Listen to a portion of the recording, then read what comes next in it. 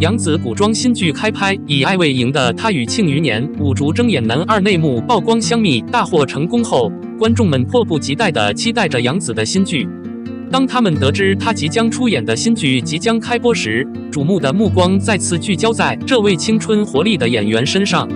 新剧的男主角也引起了不小的轰动，观众们充满期待地想要一窥这对搭档的默契演绎。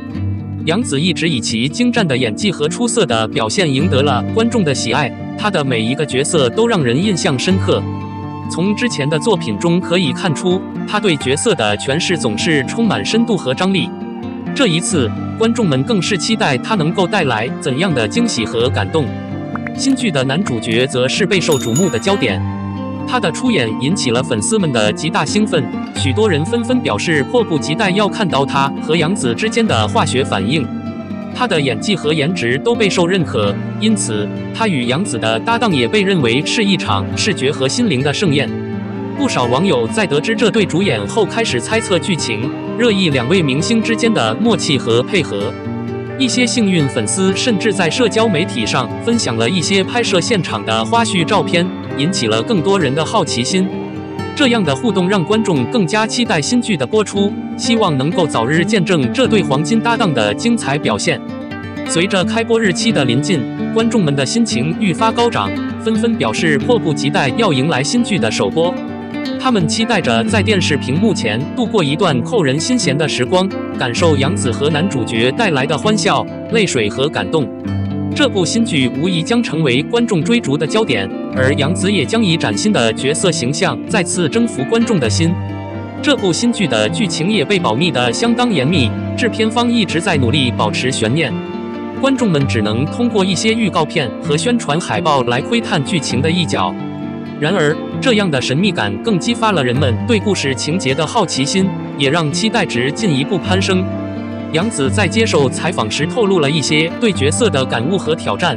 他表示，这个角色对他来说是一个全新的尝试，希望通过这部剧能够给观众带来更多的共鸣。他的演技一直备受认可，观众们纷纷期待着他能够展现出新的一面，为剧中的角色注入更多生命力。男主角同样在采访中表达了对这部剧的热爱和期待。他表示，与杨紫的合作是一次难得的机会，希望能够通过共同努力，呈现给观众一部优秀的作品。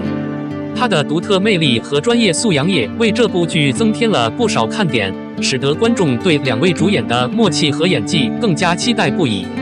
除了两位主演的精彩表现，这部新剧的制作团队也备受关注，导演。编剧以及其他演员的演技水平和剧组的整体实力都是观众关心的焦点。制片方也在不断释放一些花絮和幕后故事，让观众更加期待这部剧的问世。综合而言，杨紫的新剧无疑是近期影视圈备受期待的佳作之一。观众们在香蜜的热潮中未曾冷却，反而更加热切地盼望着这位优秀演员的再次表现。而新剧的故事。演员阵容和制作水平都将是决定其成败的关键因素，让我们一同期待这场电视剧的华丽绽放。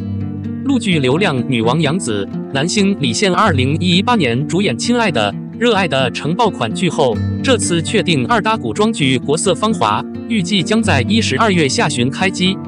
目前除了男女主角之外，其他角色尚未公开演员名单。网上盛传星洛宁成堂陈星旭竞争男一失利，也婉拒演出男二。据悉，以艾未营男二位哲明与庆余年演出五竹爆红的《童梦时》都在争取男二。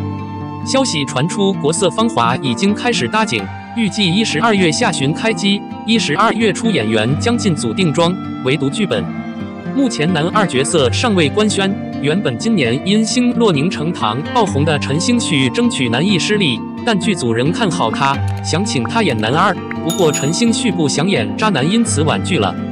国色芳华男主角蒋长阳看似狡诈，但内心有家国大义。男二刘畅表面上是翩翩君子，实际上却自私自利。剧中他因看中女主角和潍坊的嫁妆与养花能力而迎娶，但又看不起她是商户之女，因而常常苛待对方。后来两人便和离了。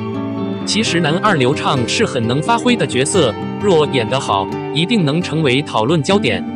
目前盛传以艾未营男二位哲明与庆余年演出五竹爆红的《童梦时》都在男二人选清单上。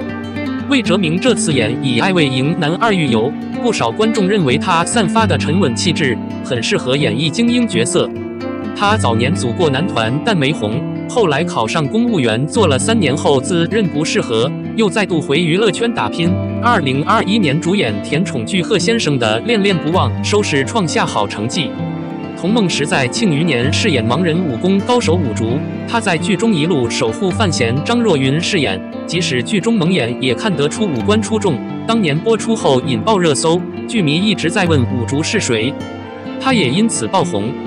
当年庆余年为了五竹的演员煞费苦心，虽戏份不多，却是关键配角，加上要长得够帅，还要能演流畅打戏，但由于需要蒙眼演盲人。根本看不出是谁，许多男星都不愿意。开拍前，童梦时向导演自荐，才顺利开拍。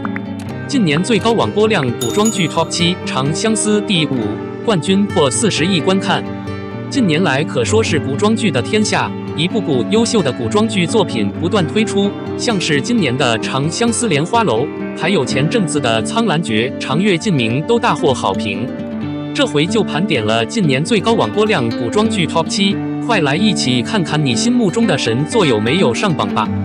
TOP 七《沉香如屑》，沉香重华二十七点六三亿。沉香如屑由程毅和杨紫主演，两位的演技自然都是不在话下。剧情讲述少女颜淡杨紫氏和其好友于墨张瑞氏在下山历练途中，偶遇正直果敢的少年游侠唐周程毅氏，三人结伴同行。杭州与旧石柳为阳复方俊士重逢，听闻有恶势力盘踞之的，众人共赴秘境探险。在秘境中，众人和邪恶势力斗智斗勇，而战胜邪恶的同时，唐周、颜淡也意外找回各自遗失的记忆。这部作品以年度剧王之姿强势来袭，但却正好撞上另一部强档作品《星汉灿烂》，因此话题度稍微被拉走。再加上爱情戏被批根本是为虐而虐，因此褒贬不一。不过还是拿下了第七名，二十七点六三亿播放量。Top 六《长月烬明》三十亿，罗云熙和白鹿主演的《长月烬明》也成功上榜。故事讲述为拯救被魔神蛋抬进罗云熙是统治的世界，黎苏苏、白鹿是化身叶家小女儿叶希雾，回到五百年前，却因而和蛋抬进产生纠葛，相互救赎的故事。网友评价这部作品节奏明快，甜虐适宜，是可以很轻松追的古偶剧。Top 五《长相思》三十点一亿，热播排行榜当然少不了《长相思》，而且比《长月烬明》晚播出，却也能拥有三十亿播放量，就知道这部真的是怪物新人等级的大作。《长相思》剧情层次饱满，从爱情、亲情、友情乃至国家大事都有所描绘。杨紫、邓为、谭健次。张晚意一女三男的虐恋更是让人看得一把鼻涕一把眼泪，很快就能有所共感。Top 四《苍兰诀》三十三点一五亿，一举捧红王鹤棣。虞书欣的《苍兰诀》果然也进榜。故事围绕在一段神魔虐恋，乍看之下非常老套，但凭借着高水准的特效、服装、演技、剧情、节奏和 BGM。让《苍兰诀》在一大票仙侠剧中脱颖而出，可见的有时候好的剧本更需要好的特效演员来加持啊。Top 三《青青日常》三十七点四六亿，最让人意外的是《青青日常》竟然挤进前三。这部由白敬亭、田曦薇主演的古装剧，有别于古装剧常见的勾心斗角、胃痛虐恋，剧中角色都非常的和平相处。甚至是全剧都撒高糖，加上男女主角 CP 火花十足，也让《青青日常》播出后默默的累积了高收视和播放量。Top 二《雪中悍刀行》三十八点六三亿，《雪中悍刀行》首播上线就累积了近一亿网播量，剧情以爆红网文改编而来。该作还曾获得首届网络文学双年奖之银奖。围绕在古装玄幻励志成长剧的主轴也相当新颖。加上找来了爆红剧《庆余年》原班人马卡司阵容，让这部剧本身就自带惊人话题度。目前累积三十八点六三亿，位居第二名。Top 一《星汉灿烂》，月升沧海四十一点六一亿。勇夺近两年网播量第一的古装剧就是《星汉灿烂》。月升沧海，剧情改编自关心则乱的小说，结合复仇、宅斗情节，讲述背负沉重身世的少年将军凌不疑与父母长期征战在外的留守少女程少商在无数次考验中相知相惜，互相砥砺，并携手化解家国危机的故事。从主演到配角都演技在线，加上剧情流畅不拖戏，CP 火花十足，各方面表现都很优异，拿下第一名可说是当之无愧。